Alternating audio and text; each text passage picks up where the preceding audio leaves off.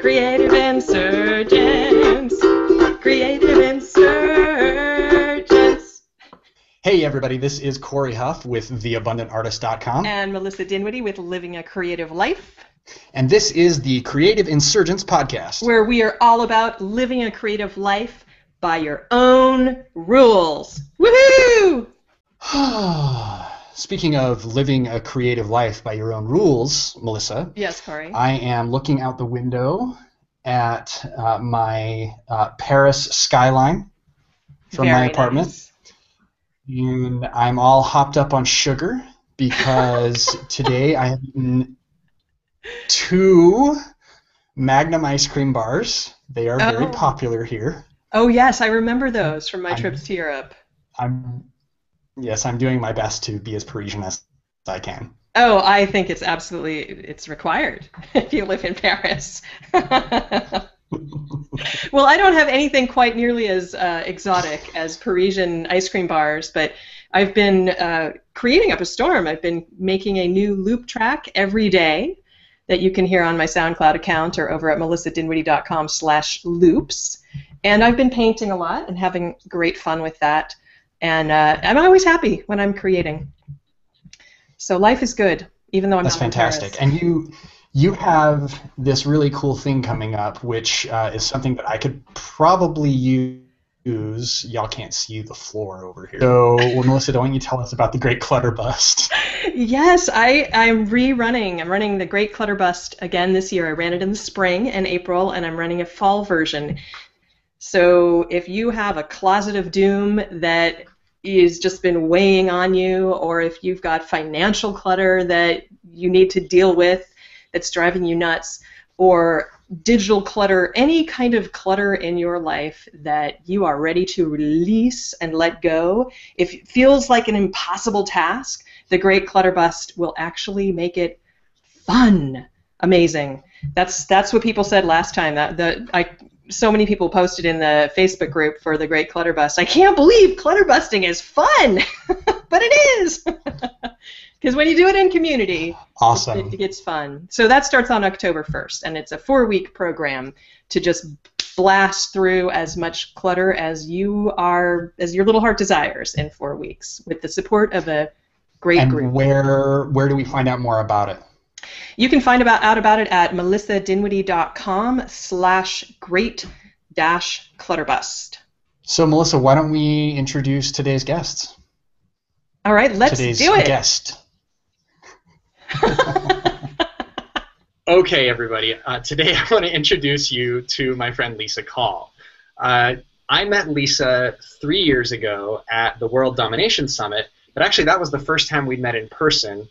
Uh, Lisa is another uh, person that I've been following uh, online for a couple of years uh, before I before I actually met in person. Um, Lisa is an artist, a fabric artist and pattern artist uh, based in Colorado uh, in the United States, and she does amazing work. And uh, also, Lisa just left her day job a few months ago. So congratulations, Lisa. Yay! Yeah. Um, so today I- we're going to talk. Lisa and I had the most interesting conversation at the World Domination Summit in Portland this uh, past summer. And I wanted to uh, bring Lisa on the Creative Insurgents podcast and just have that same conversation uh, so that people can hear it in public because I think it's an important conversation to have. Lisa, thank you so much for, for joining us. Oh, you're welcome. Thanks for having me. So, Lisa, we were standing in line uh, to get ice cream or something uh, at, at the World Domination Summit, and and I leaned over to you and I said, "How do you like? like there's so many artists who who are financially and professionally very successful who you would never guess were artists, like just by by looking at them. But then there are a lot of people who look like artists who you would who you would think would be successful but really aren't. And and we sort of had this conversation about what it means to be a professional artist versus what people think it means to be a professional artist. Yeah, I, I forgot that's how the conversation started. That was a great conversation, and it was it was really about uh, being an artist isn't about what you look like. It's really about what you do when you go to your studio. It's about how focused you remain while you're in your studio, while you or you're looking to be a professional, or just looking to look like an artist. Okay, done. We're done. no, absolutely. I think that's absolutely true. I think a lot of artists are, and maybe a lot of us, a lot of people are very concerned with image. We want to look a certain way. We want to be perceived a certain way. The look and the and the perception is not the reality of the situation. Lisa, I know that you maybe you tell us a little bit for, for context for those who don't know you. Tell us a little bit about some of the courses that you teach and the work you do as a professional artist. Uh, so I am a, a textile artist, and I pretty much only work in a series. I've been working in the same series now for 10 years, and I find it interesting when I talk to people about that. And, and what it comes down to is that whole want to look like an artist. And one of the things that artists want to do is they want to look like they kind of can do everything and, and that and, and that they don't focus. That artists have this um, mystique of oh, I can't really focus, and I do this, and I flit around, and do that. And I'm I'm so not that way. I'm very very much obsessed with one idea, this idea of connection and and barriers, and how um, we come together, and and and how we don't let people know who we are, and that's what my series is about. And I've been working on it for 10 years, and so I have uh, I don't know 160, 170 pieces in the series that, that I've been working on. And so people would always ask me about it, so I started teaching a class called Working in a Series to, to help artists learn how to do that, to learn how to to focus on one thing. And and it's important to figure out what you're interested in in the first place. And once you find that you can then get focused because finding a gallery you have to have a you know a consistent body of work. And working in a series is a great way of doing that. So that's mostly what i teach. And in that class it's really a lot i don't teach how to make art it's really a lot of mindsets how do you how do you stay focused how do you not get bored how do you how do you return to the same idea again when you would want to go off track because your friend did something that sounds more interesting than what you're doing? How do you get back to what you're doing and to trust yourself that what you're doing is interesting? That's uh, something that I think a lot of artists, especially newer artists, struggle with. Yeah, I, do, I think that a lot of artists get distracted by what is happening. In, their friends are doing it. They see someone do something on Facebook, and they're like, "Oh, that would be fun. I want to do that." And so they try that, and then then they see someone else do something, and they want to try that and they never sit down and say, well, what do I really want to do? Yes, all those other people want to do those things, and they are interesting, but what's what matters to you? And I know that not everybody loves my art. I don't I don't look to please everybody, and I know that if I were to um, to to do a little bit of this and a little bit of that, I would get a larger um, following. I would you know have more people because I would have a greater variety. So there would be more people, but they would be only, eh, okay, that's interesting. But the people that like my art, they really like my art because it's very clear what my message is. And I think having that very clear message really helps. And and and staying focused on that and not getting distracted by what other people are doing is hard. I love it. I I, I think I, I feel like every artist needs to hear what you just said and I think it's also important to um, to point out that everyone has to start out as a student. I spent um, maybe six to eight years uh, when I first decided, okay, I want to be a professional artist. I want to make a career of this, and I did kind of flit around and I took classes and I learned. I didn't go to art school, but I, I chose classes outside of art school to educate myself, and I tried different things. And um, as soon as I found the thing that really worked for me, I stopped taking classes and I and I got serious about what I wanted.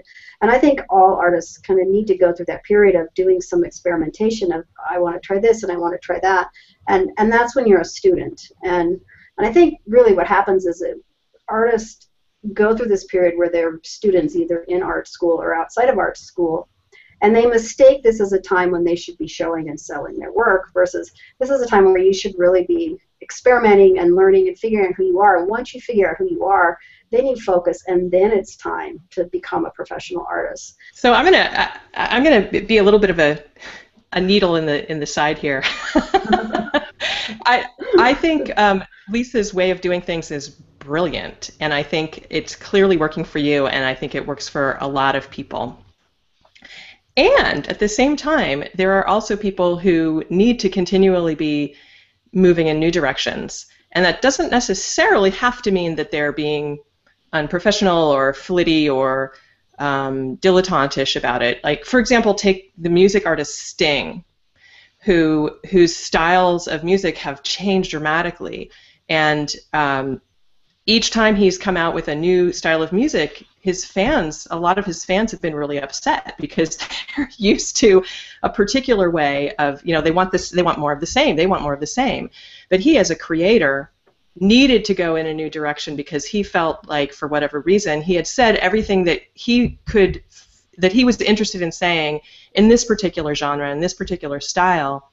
So I'm curious what your take on that is, Lisa, because that's, I, as an artist myself, I feel like I agree with you that working in series, like I do work in series, but my series aren't 10 years long. They're maybe a year long or three months long. I want to I want to hear what Lisa has to say, but I want to point out that um, Melissa, you have like you, all these things that you've done in the last few years. You you're, you're definitely that multi-potentialite, multi-passionate person, but you also have uh, a foundation of a, a calligraphy and ketubah business that you had for years um, concurrent with and before all the stuff that you're doing now. Right, so you've got like absolutely sort of, true. You've absolutely got like true. a big body of work that that is, uh, or or for a long time was your main source of income, and allowed you to start experimenting in these other directions. Yeah, that's true. But if you, if, I mean, it's very funny because if you look at my body of work as a ketubah artist, I don't have a single style. The only thing that is um, uniting them together all of my ketubah pieces is that they are ketubah, that they're Jewish marriage contracts. I don't know. I think I think it's a really rich area for conversation, and I would love to hear Lisa's Lisa's thoughts about it. Yeah. So, so I actually think that um, a lot of people confuse working in a series with the idea that you're doing the same thing over and over again, and there is no growth. And that's I spend a lot of time in my working in a series class talking about, you know, what is the definition of a series, and and to me I believe that it's not a series if it doesn't show growth. If it is the same thing over and over again, you've just done kind of this project. You just kind of said, and I do that. I, I'll go. I, I have a series of travel art, so I will, you know, go to Thailand or go to Italy, and I'll make a small series of work. But they all are kind of the same. It just kind of captures that moment in time when I was traveling. I don't view those as series. To me, a series shows evolution, it shows growth. And my example, like you have a sting, for me, for the visual artists that that I use is um, de Kooning. So de Kooning, if you take yeah. a look at his art, he um, he works exactly like you were talking about with Sting, or he did work. He would he would he would come up with an idea and he would make piece after piece to really understand it. You know, for example, the black and white and all of the abstract expressionists were working with that those kind of black and white pieces. And he and then he would kind of figure it out. He'd like i got it. I, I, I do this and now i don't want to do that anymore. And so his his work would evolve and he went from abstract to representational work and, and back and forth again and some landscape in there. But if you look at his work if you went to his retrospective at moma a few years ago and you walked through you could see he had some consistent lines in his work. You could always see shapes he would use um, tracing paper and he would use these shapes and you could see that he used them throughout his entire body of work. And so he showed growth and he and he didn't work like today i'm going to do a woman piece and tomorrow i'm going to paint a landscape and then the next day i'll go back and do a black and white. So he wasn't flitting around from one thing to another. He was like had an idea he worked on it he got really serious about it he understood it and then when he understood it he moved on.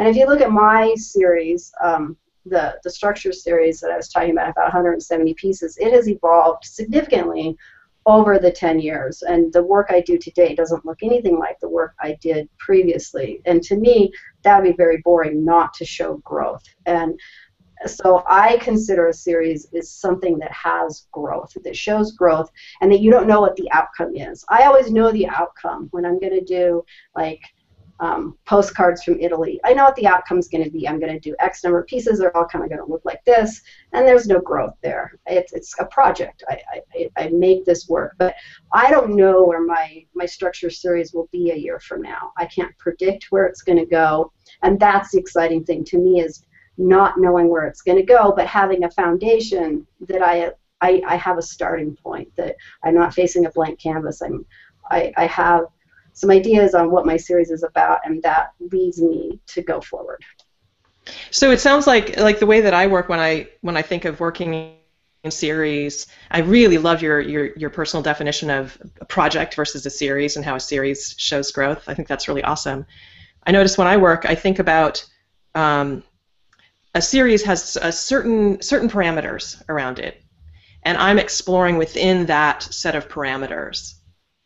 And at a certain point, I might get bored with those, that per- particular set of parameters. And just like de Kooning, not that I would compare myself with him, but just like de Kooning, I might say, okay, now I'm going to work with a, di- a different set of parameters. And maybe the parameters is I'm going to work on 5 by 5 canvas, um, or maybe the parameter is certain colors or uh, maybe the parameter is like right now I'm looping. That's my latest um, thing that I'm exploring is using my voice and just my voice to create compositions layer upon layer upon layer.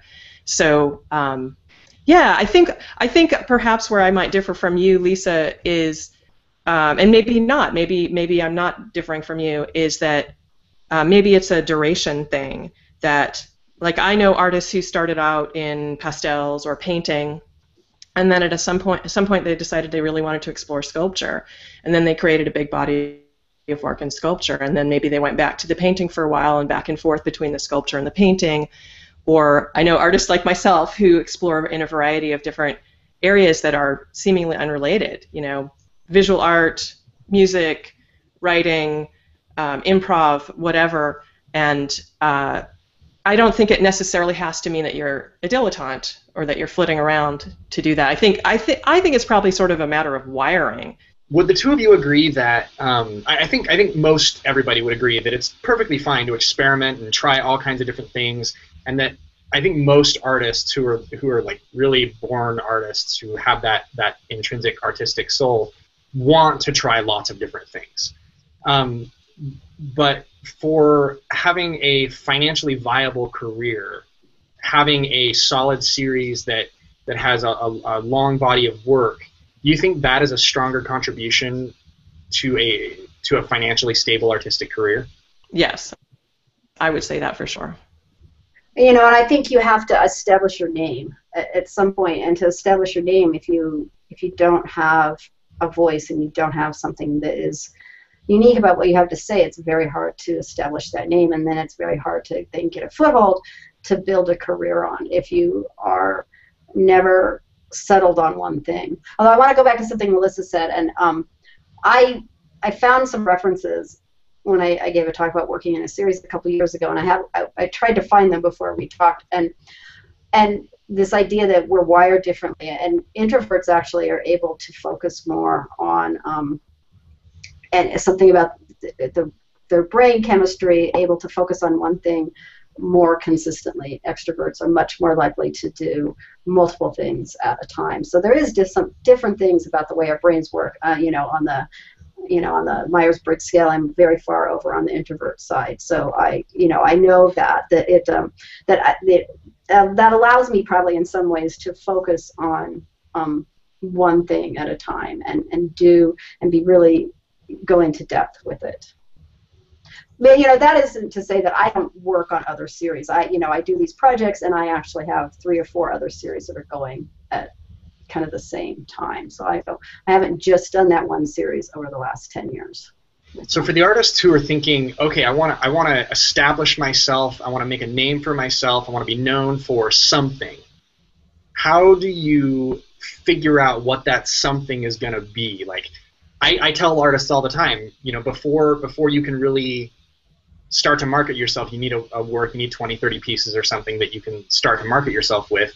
How do you decide what you're going to create 20 to 30 pieces of art about? That's a really good question, and um, I actually teach another class called abstractions, which really is kind of about abstraction because everything's abstract, right? It, we're looking at um, the outside world, and as soon as we interpret it, we've abstracted it. And, and so I, I viewed my two classes as kind of going together. I, I always try and encourage people to take my abstractions class first and then take working in series because in abstractions, we talk about what are different ways of working? Do you work better improvisationally? Do you work better with a lot of planning and sketching? And I and I have people do that. I have them do um, assignments where they it's totally improv, and other assignments where I'm like. The, the list of steps have to go through is very painful, you know, just to see how much planning. And, you know, I have them do quite a bit of planning, and at the end of the class, they're like, you know, they tend to fall one way or the other. People that had never done any sketching because they thought, oh, I don't know how to sketch and I don't know how to use sketches to inform my work. They're, they're like, I, I found out that my work is better when I do all that. And, you know, and so they, they learn that and then they find out that I don't do any sketching. but, but I think it's very important to learn how to do that, to learn how to, to um, to work with some planning and, and, and be thoughtful about it. And even if it isn't for you, it's important to try all these things out. And, and then I, we also go through all the different ways of doing abstraction from abstracting objects to abstracting ideas to doing non-objective abstraction. And usually from there, from those assignments, people usually have something that they've done over the eight assignments. They're like, I want to do more of that. I can see doing more of that. So it's like they're they then you know it's like this generation of ideas. I kind of caught you know generating this this warehouse of ideas and they find something that's interesting and then you take that to working in a series and then you make a series with it and then you have these other ideas that you can go back to that you know I, i've tried this one let me go back and take another idea and work it through to a series but i think you know, taking a class like that where you're really figuring out how do I work best, because that's one of the keys is that even though you have an idea, well, how do you know how do you work best? Do you work better improvisationally, which is what I do? I don't nothing. I just go up there and do it. And or do you work better by sketching, sketching, sketching, and then using that to inform your work? That's an important thing to figure out. And all artists work very differently. Yeah, that's such a great point, Lisa. I think it's so important, as you said, to figure out how you you like to work. And uh, also, one of the things that underlying everything you just said is doing it, is trying it. We, you can't figure out what you want to do just by thinking about it. You have to right. do it. That's what's going to bring the ideas forward, and that's what's going to show you what you like and what you don't like. Right, absolutely. Yeah. How do you distinguish between an idea that will get you a few pieces and be mildly interesting and an idea that will burn a hole in your skull and get you 170 pieces in 10 years. And you know, you really have to do it. And it's interesting, about halfway through um, my working in a series class, I, a, a, a, percent of my students will kind of hit a wall. And they, they're, so then I, you know, we, we have we have one-on-one calls because I know about when that's going to happen. When they're either they hit a wall because they really picked an idea that didn't interest them and they're bored already because they've done three pieces and they've had enough. And so then I help them pick something else. And I can usually tell the difference between that and they just don't really know how to move forward and they just need to get unstuck. And and it's pretty clear to me usually by the way they write about their work my students have to do so much writing because i think that we learn so much about writing when we write. And and you know even though it's a, an art class. Writing? But i'm a visual artist. I don't want to write lots of i mean learning how to critique your own work is so invaluable but you know and i can tell by the way they they write and then you talk to them and you can tell by their tone of voice if they're really excited about it and they're just stuck or they're mm-hmm. scared or oh my gosh this idea just wasn't interesting and what that's actually one of the, the, the challenges i have in teaching this class is that I, I encourage them to don't pick an idea for a class so don't think i'm saving my good ideas for later because mm-hmm. if we look at um the um, Ocean Park series that Diebenkorn did, if you look, his first four or five pieces of this series are gone. He destroyed them. We can't. No one has seen them. He didn't photograph them. No one knows what they look like because it was a. He had just gone from doing his landscape work to doing this abstract work, and and the first few pieces are beginner work. They're they're you don't know what your series is, and and so I pretty much encourage everyone that makes the work in during the class. You're probably going to you know toss that out, and the real series starts when the class is over. So I really encourage people to pick something that you're passionate about, and I can sometimes tell where they're kind of holding back and they don't want to pick that idea because they're so afraid that they'll ruin it or you know let me save the best idea for later and and that's that's something I think we all do as artists. You know, we get these supplies that we are enamored with, or we have these colors that we're excited about, and we think, oh, I'm not ready for that yet. I don't.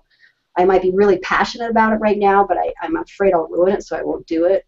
And from the textile world, a lot of us, it's you know, you have a beautiful piece of fabric, so let's save it. And uh, and then and you save it and then five years later you think oh my gosh that's really ugly or i'm not interested in that idea anymore. It's, such, it's, it's like you have to like when you're passionate about something you need to take action on it then not save it for when you think you're ready for it because you have the passion and you need to work when you have the passion. Well and as they say paint is only wasted when it stays in the tube and paper is Right. only wasted when it stays in the drawer yes exactly exactly You said something that you know that you have students write, and you can tell when they're sort of hesitant, um, they're not going deep enough. Like, so I, I experience this a lot with artists who might have a body of work, but they're struggling to understand how to market themselves. Uh, they don't know how to talk about their art.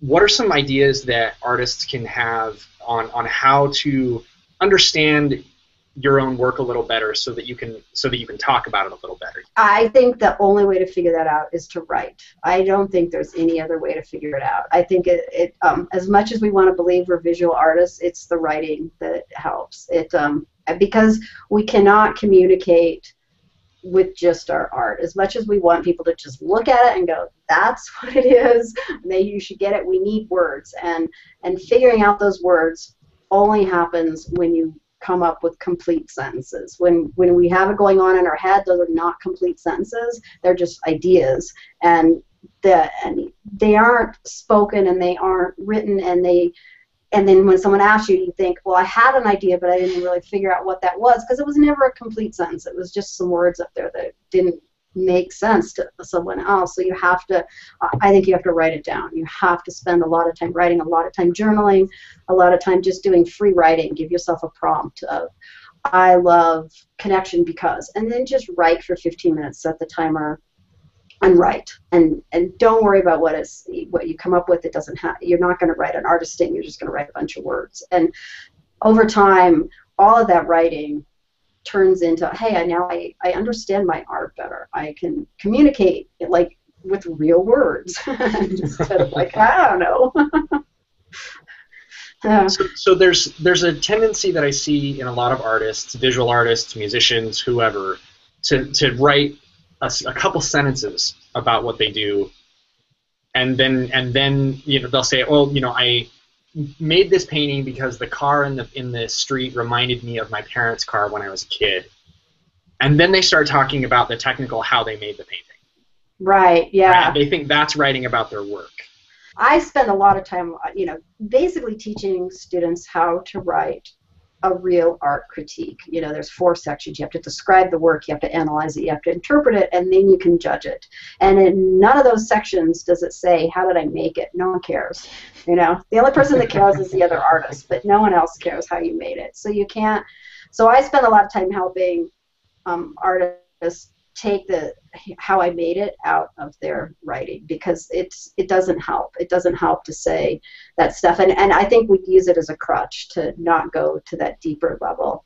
But that, and I think the hardest part of the whole writing a critique is describing our own work. How do you write in words what you see? You know, it's uh, purple and it's got these black lines and there's a section of it, it it feels weird to say that. And then so we like dive right into technique. And then so i painted it with this kind of paint and and it's like we lose the idea that we're describing something that's visual. And, and so we spend a lot of time on that. Like the first couple critiques people write we i spend a lot of time getting some of that useless technique out of the writing because it doesn't help. Now that doesn't say that in my artist statement i do have a section that explains how i make my work but it's like at the it's the last part. It's like the least interesting part of it. But people do still want to know kind of how you do it especially something different like fiber which is not paint. And so i have a little bit of how I do it, but the rest of it isn't about how it's made. Yeah, I was going to say um, if if you're a representational artist and you're or you're a songwriter or something and you're telling a story with your song or you you painted a picture of a car then the natural like from a reader's perspective the natural thing would be oh tell me more about that car that you loved when you were a child. Do you have a story about it? What what did you do with that car? Did you sit in the back seat when you know da da da? Right. and but i think the challenge the more of a challenge comes with abstract pieces which don't always come from a, a, we're not always aware of a story when we're creating something abstract. It's just what happened to emerge in that particular moment, and how can you find the story inside of that? I think is the challenge often. It is. That is a really big challenge. It's really hard. It took me two years to figure out what my series is about. It, um, you know, I knew it was about walls and fences. Originally, it was, you know, a picture of a fence that started it all out. But where, you know, it's just a lot of writing and and before that I could figure out the stories. And what's really interesting with abstract work, uh, in fact, all artwork, I think, is that when I look back, I can identify what was happening in my life at the time. You know, here's, you know, I'm making art for a Christmas show and I look back now and I think, hmm, it's all black. Why would I make black art for a Christmas show? it was it was a couple months after my dad had passed away, so of course that's what I was doing, and I didn't intentionally set out to do it. It just happened, and you know, it's like I I have these pieces that I can identify. It's like, oh well, that was the divorce piece. Obviously, that's what it was. It was also black, so you know, so it's very interesting how I can see. Um, things in my life are, are directly related to what's happening in the art. And so those stories are great to you know that you can see what's happening as you're making this abstract art and you can see how that impacts the art. It helps identify sort of where it's coming from too. I, I really love you know watching my students evolve. And you know i've got some students i've worked with them for a couple years now because after they take my classes we have kind of these year long programs. And the how they their stories have evolved about their work because they do so much writing. It's just beautiful some of the things that they come up with and how it's very personal. It's usually a very personal story that this abstract art comes from, and it, it takes a while to identify what that story is. We're, we're just about out of time, Lisa, but before we end, I want to ask you what does it mean to live a creative life on your own terms? What do you think of when I ask you that question?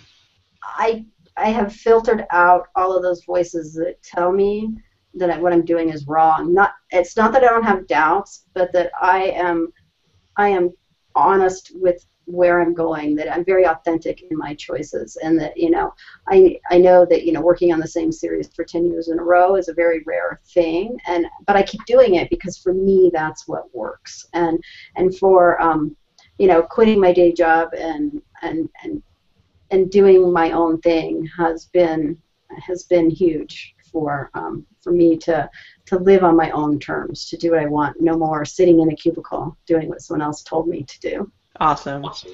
Yeah. Thanks so much, Lisa. Lisa Call, it's, it's been a pleasure. Great. Thank you. Thank you. All right, so thank you, Lisa, and thank you, Melissa, for doing that. That was really cool. It was fun to take a conversation that I had months ago and uh, bring it up to now and let everybody hear about it. So thanks again, Lisa. We appreciate you being on the show. So if you like this episode, leave us a review on iTunes. We might even read your review and your name online. We have a review here from Titan Phil. Titan Phil writes, Thank you so much for creating this show. I discovered your podcast through Pat Flynn SPI podcast. I'm a working Disney artist who is used to creating art that is conformed to a certain style. Although I love what I do, it's so refreshing to hear fellow artists discuss creativity outside of the box and artistic freedom. I listen to the show while I work and feel like I'm part of the group. Keep up the good work and passing on such informative information. Ooh, that's such a great review. Thank you so much, Titan Phil. Thanks a lot, Titan Phil. We really appreciate it. And if you appreciate the Creative Insurgents podcast, we would love it if you would leave a review. You can go to creativeinsurgents.com for a link to our show on iTunes and leave us a review there. And you can also subscribe to the audio or the video of the show automatically on iTunes. And again, if you leave us a review, we may just give you a mention on the air. Thanks again for joining us, everybody. Thanks a lot, everybody. Have a good day.